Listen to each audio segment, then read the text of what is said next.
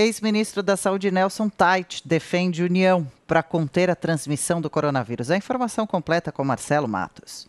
O ex-ministro da Saúde Nelson Tait reforça o descontrole da Covid e que nunca o país precisou tanto da união de todas as esferas de governo.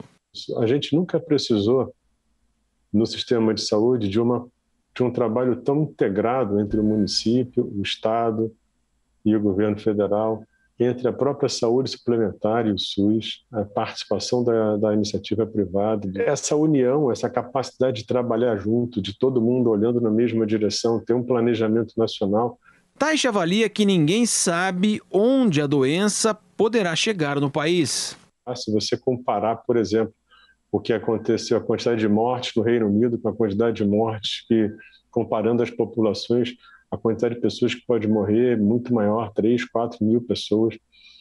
Então, a gente, uma coisa importante da, em relação à Covid é que a gente não sabe nem onde isso pode chegar, nem quando isso vai acabar. O ex-ministro da Saúde ressalta os impactos no comportamento da economia.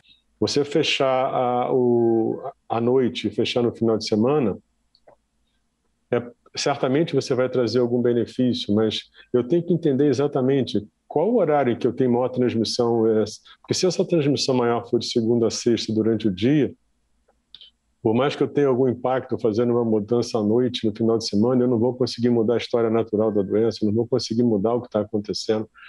A gente tem que ter informação sobre as variantes, como é que elas estão evoluindo, como é que elas evoluem no Brasil, como é que elas se espalham, qual é a sensibilidade delas às, às vacinas, à infecção prévia.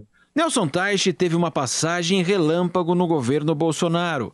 O ex-ministro lembra que os países com mais sucesso no combate ao coronavírus controlaram a transmissão, que envolve desde os testes, quarentena e mudança de comportamento das pessoas, enquanto a vacinação não atinge a grande maioria da população.